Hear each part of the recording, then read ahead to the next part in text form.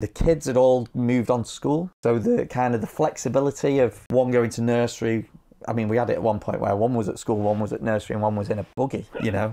Um, so all three were in school. It just was the right time. Um, and I was very, very fortunate, I think, to have the opportunity to come here and do this. And Do you know, like, and I say this, people will be bored of listening to me saying this, but it just seems in life it life just has this knack of throwing opportunities your way. When, mm. like when you really need them, Yeah. something just comes, and it's down to you to identify that. Yep, this is an opportunity that I need, mm-hmm. and going for it, grabbing it, and going for it.